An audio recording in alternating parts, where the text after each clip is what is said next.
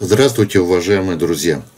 Мы немножко перескочим по мушкам, так как мы еще пока вяжем мокрые. По вашей просьбе, так как вы просили, мы сегодня изготовим имитацию ручейника или веснянки. Вы выберете для себя сами, в принципе, то это собирательный образ будет сухой мушки. Крючок я использую вот такого, такой формы, номер 14. Значит, для этих целей очень хорошо подходит крючок Тимка 200R. Можно и на гамакацу F11, F16. Без вопросов, пожалуйста, изготавливайте на любом, вплоть до нимфового крючка, если он у вас имеется. Просто вы у меня спрашивали, я буду изготавливать и отвечать сразу на ваши вопросы. Закрепим нить. Нить очень-очень тонкая, поэтому вы для себя подберите как можно тоньше, чтобы была нить, для того, чтобы не было нагромождения материала. Как обычно, я добавляю немножечко клея на цевье, для того, чтобы потом в дальнейшем это у меня не прокручивалось. Продолжаем дальше.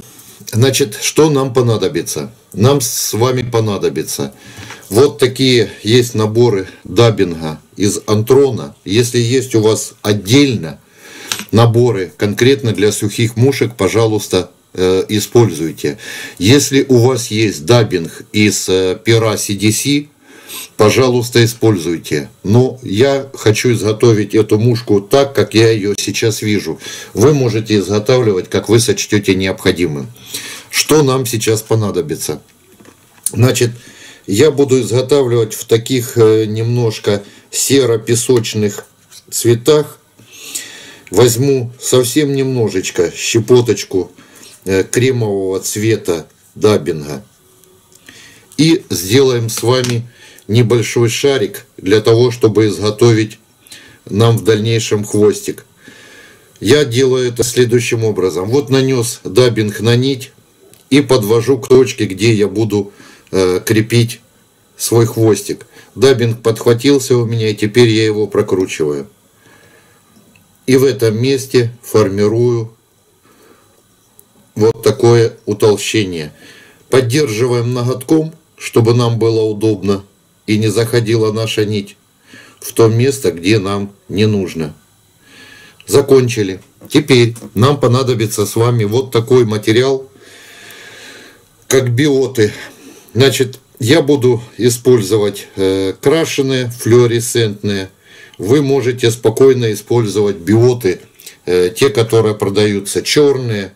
Можно использовать вот имеется черное, натуральных цветов. Или же, если у вас, допустим, какого-либо материала нет, но оторвите пару бородок вот нашего фазана охотничьего. И будет то же самое. Просто я показываю в своем варианте, а вы, друзья мои, уже для себя выберите свой вариант. Мы обозначим вот совсем немножечко наш тот хвостик, который выглядывает с-под крылышек. Я приблизительно выбираю для себя величину, равную приблизительно длине тела. Немножечко подтянем, если нам мешает с одной и с другой стороны так, чтобы это выглядело у нас как хвостик.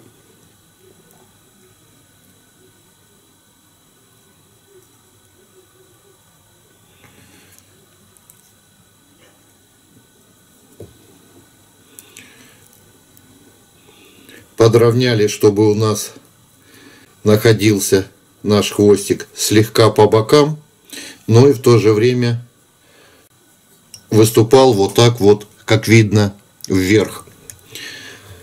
Все ровно, все нас устраивает. Значит, теперь я для того, чтобы не было в дальнейшем нагромождения материалов, отрезаю до места крепления грудки.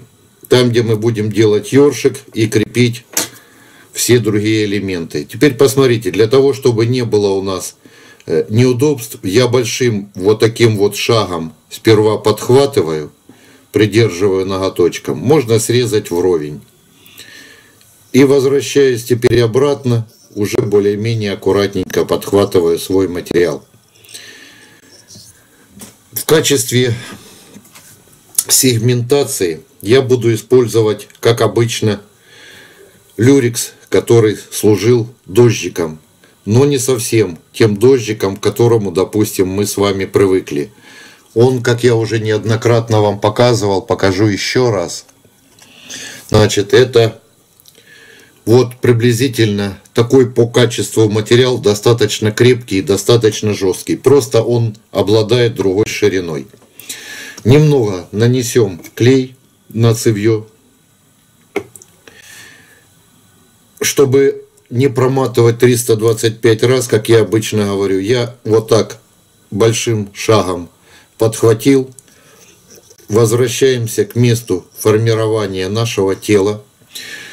И выбираем теперь для себя тот цвет, тот оттенок, который мы, допустим, хотим изготовить. Учитывая то, что вот как вы камера, наверное, не сможет до конца передать.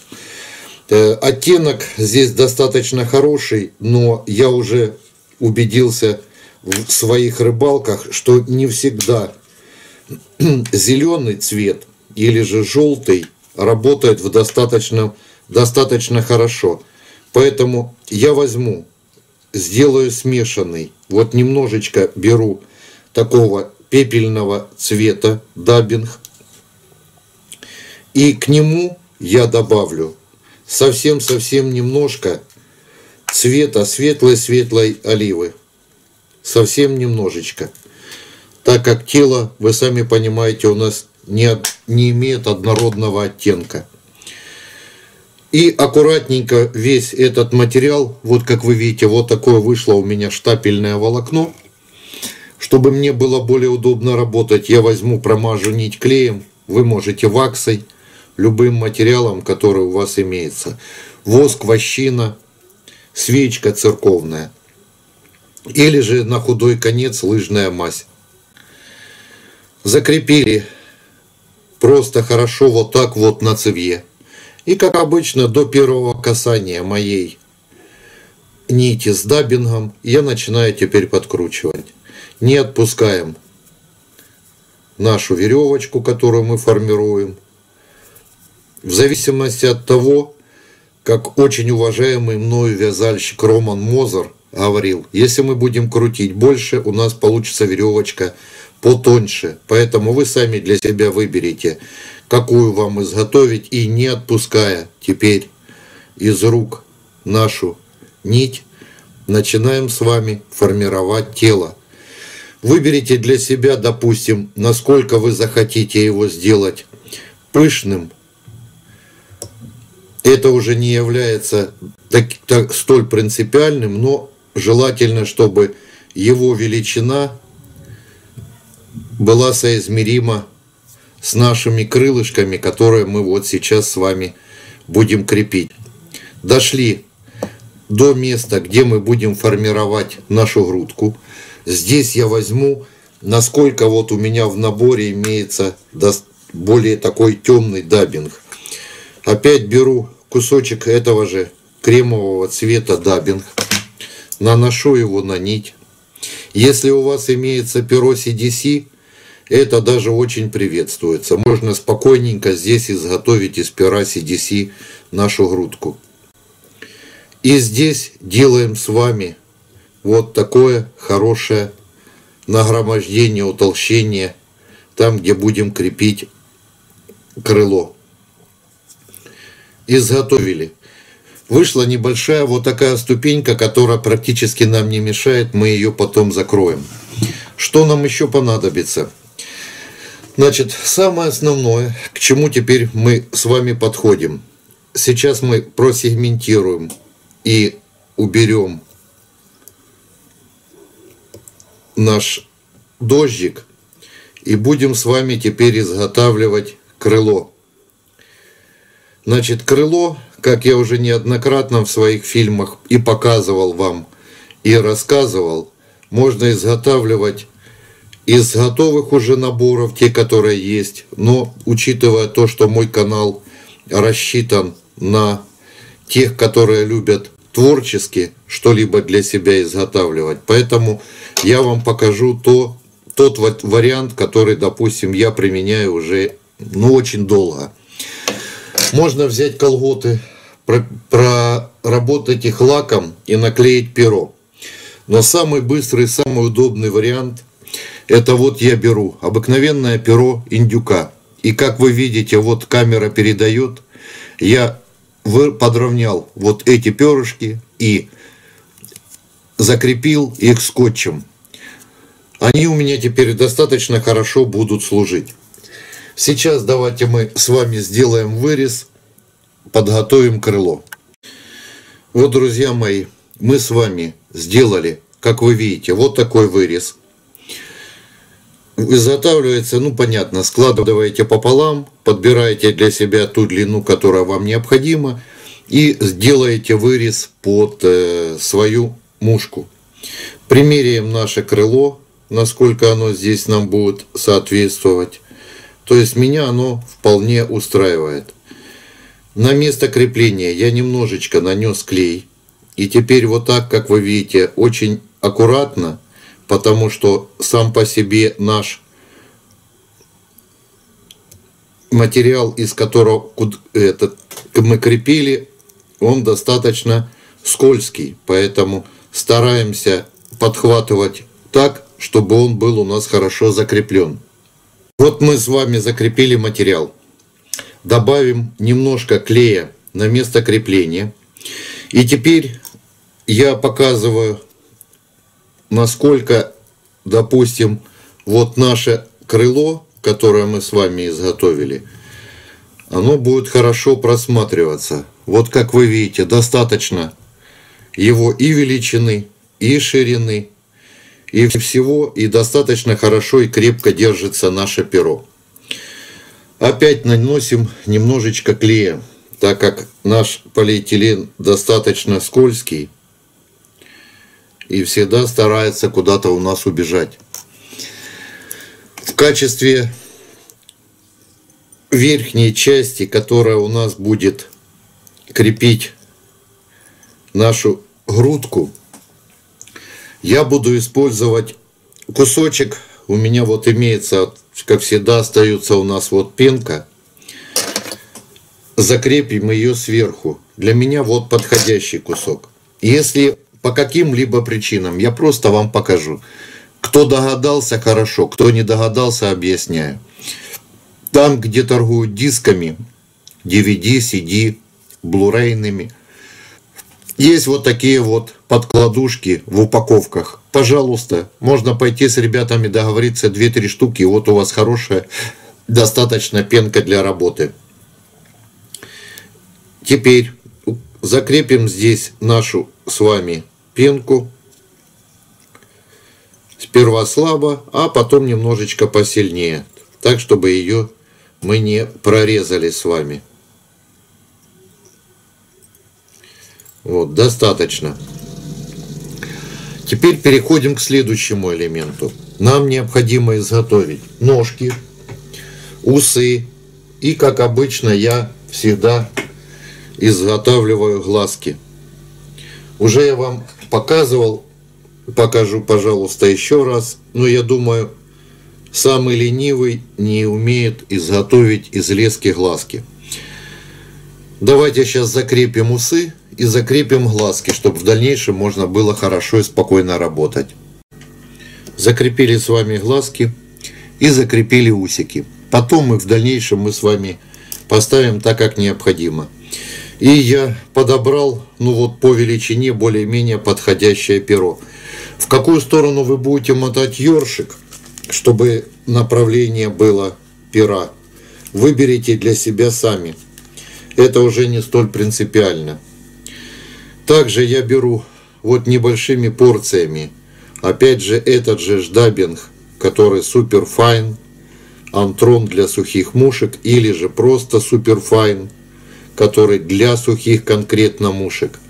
Но уже более такого темного цвета. И уже начинаем с вами формировать грудку. Значит, что здесь необходимо, на что обратить внимание – необходимо создать вот небольшую вот такую пышность, но и в то же время, чтобы не было у нас рыхлым. Доходим до наших глаз. Как видите, уже нам вполне этого достаточно. Остатки убираем. И теперь выбираем сколько. 2, 2, 3, 3. Это уже выберите для себя, друзья, сами по величине своей мушки, сколько вам необходимо выполнить оборотов. И в районе глаз я креплю теперь перо, пару-тройку оборотов и удаляем. Самый теперь такой для нас ответственный момент. Выберите для себя, друзья, ну уже скажу, как вам будет удобно. Есть дальше вариантов изготовления этого нашего ручейника больше, чем достаточно. Вы можете взять, подстричь верхнюю часть, или же, вот как я, попытаться слегка их подтрамбовать. Но для удобства, чтобы мне более было удобно и не было нагромождения, я обычно вот так вот хотя бы немножечко в районе крепления отрезаю. И как вы видите, у меня уже более аккуратненько получается укладывается мой верхний чехлик. Следим за тем, чтобы мы не нарушили наши глазки. В натяжечку вот так укладываем первый оборотик возле глаз. Следим за тем, чтобы мы не перерезали и никуда наша пенка не убежала. Должна выйти приблизительно вот такая у нас конструкция. Ну а теперь более культурно давайте закрепим и закончим наш ручейник. Вот, друзья мои, мы нанесли капельку лака или клея. И, как вы видите, вот такой ручейник снизу смотрится достаточно привлекательно. Усы у нас находятся там, где положено, имеются крылышки, имеет достаточный вид и в то же время его достаточно хорошая живучесть. Пробуйте в разных вариантах, оттенках. Благодарю вас за внимание. До скорых встреч!